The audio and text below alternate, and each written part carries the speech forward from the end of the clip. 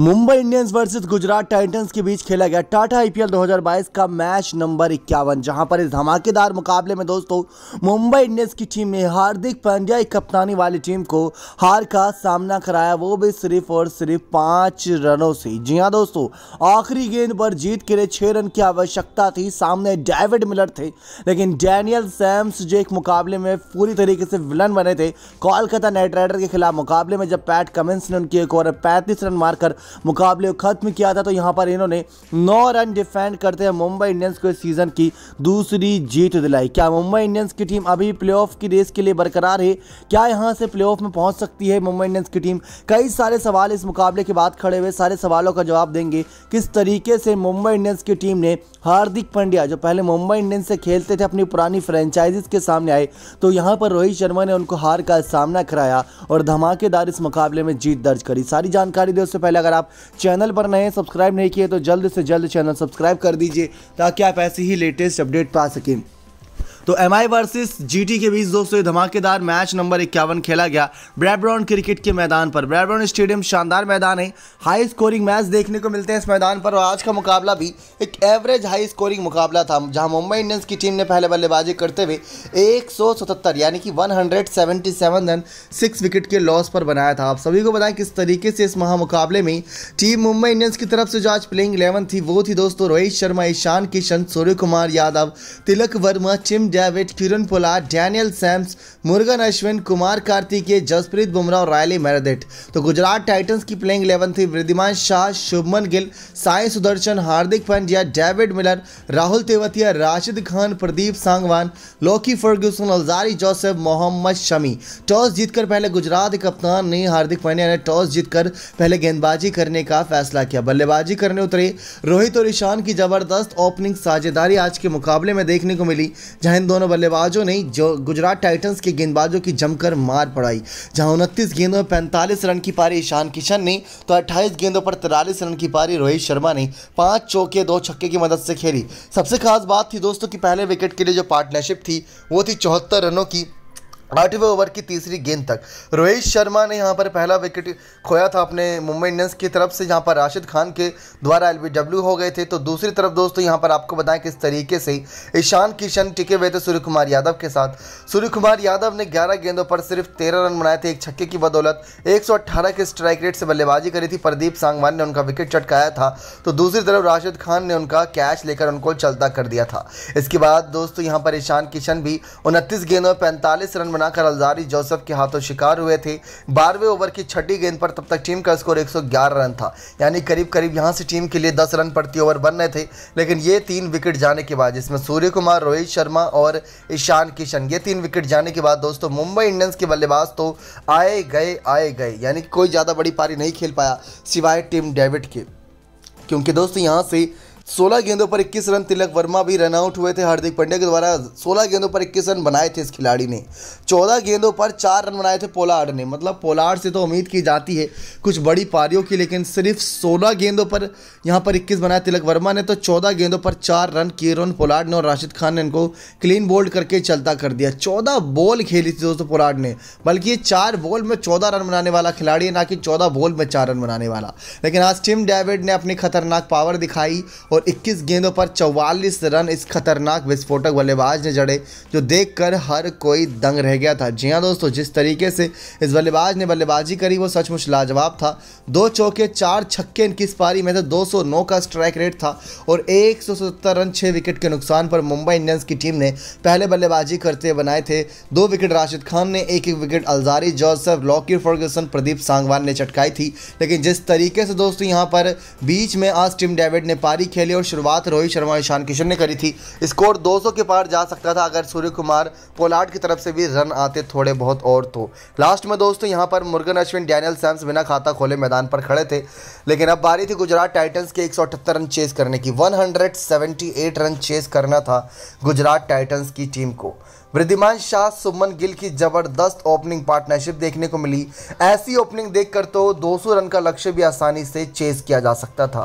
क्योंकि शुभमन गिल और वृद्धिमान शाह ने मुंबई इंडियंस की गेंदबाजों को एक भी मौका नहीं दिया यहाँ पर वापसी करने का इस मुकाबले में। लेकिन मुर्गन अश्विन ने दोस्तों अपनी कमाल की गेंदबाजी से फंसा लिया। गुजरात टाइटन्स के इन दोनों ओपनर बल्लेबाज को। दोनों ही बल्लेबाज ताबड़तोड़ बल्लेबाजी कर रहे थे। सौ रन से ऊपर की पार्टनरशिप हो गई थी। दोनों बल्लेबाजों के बीच तेरहवें ओवर की पहली गेंद पर दोस्तों पहला विकेट गिरता है गुजरात टाइटंस का।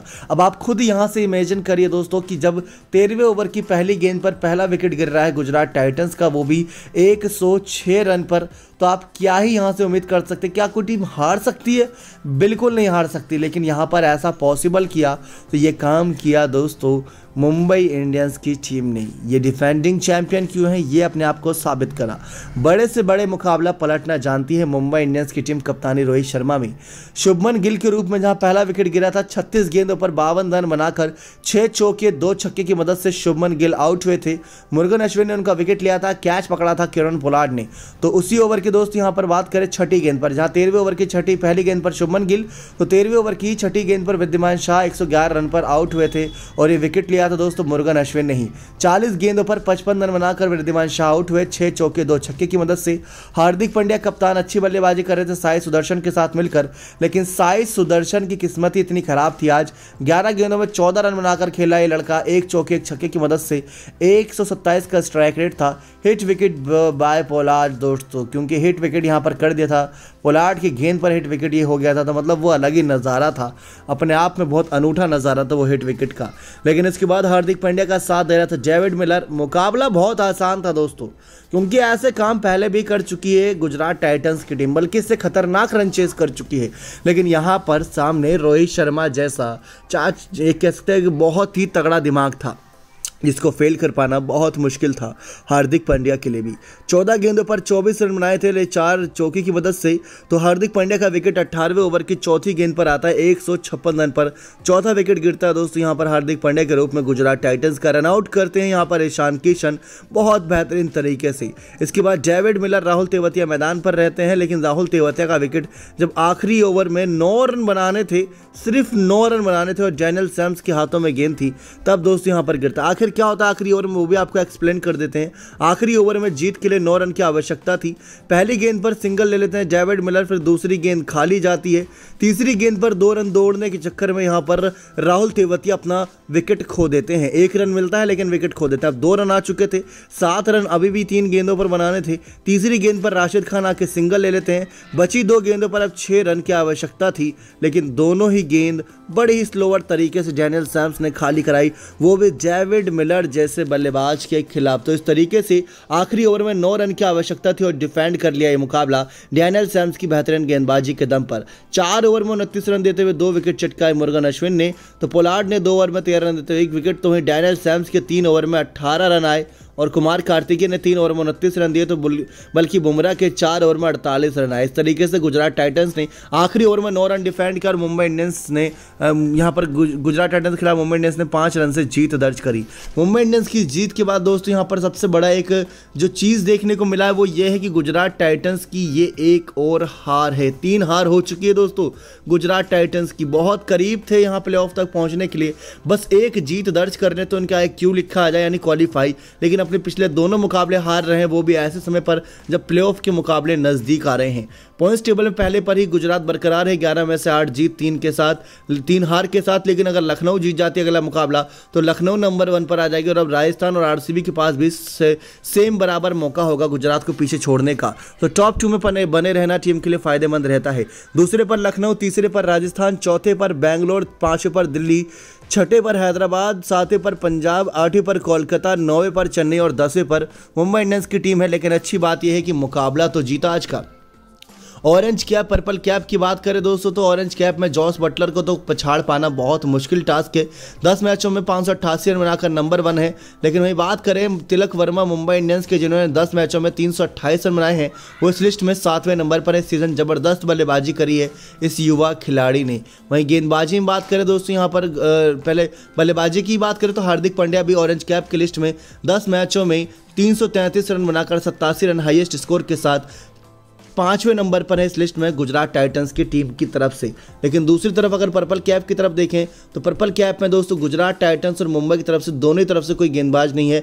मोहम्मद शमी सातवें नंबर पर जिन्होंने ग्यारह मैचों में पंद्रह विकेट चटकाई है। लेकिन इसके अलावा कोई और नज़र नहीं आ रहा। युजवेंद्र चहल दस मैचों में उन्नीस विकेट चटका कर पहले पर है तो कुलदीप यादव दस मैचों में अठारह विकेट चटका कर दूसरे पर। यह था Gujarat Titans versus Mumbai Indians के बीच खेले गए रोमांचक थ्रिलर मुकाबले का हाईलाइट। उम्मीद करते हैं जानकारी पसंद आई होगी। बने रही हमारे चैनल के साथ ऐसी और लेटेस्ट अपडेट के लिए नेक्स्ट नाइन